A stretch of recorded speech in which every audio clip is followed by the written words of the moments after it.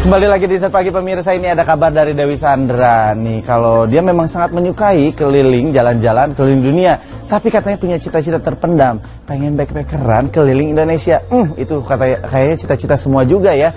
Keliling Indonesia aja dulu dengan keindahan alamnya. Langsung kita lihat ini dia Dewi Sandra